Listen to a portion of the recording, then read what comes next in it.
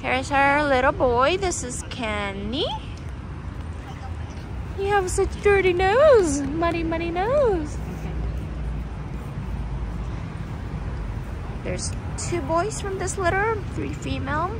And he's black with a little bit of a white paw and a little bit of white on the chest. Keni, want to get up? Get up.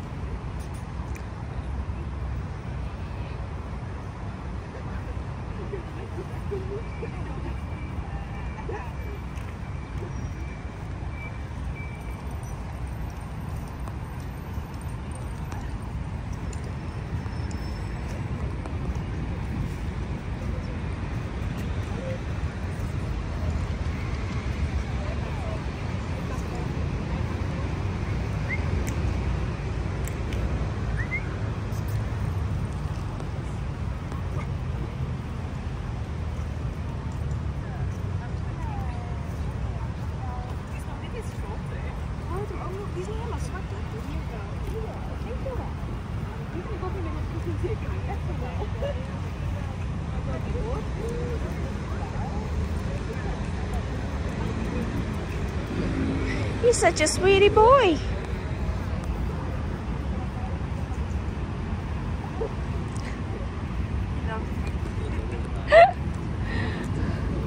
You're keeping them warm.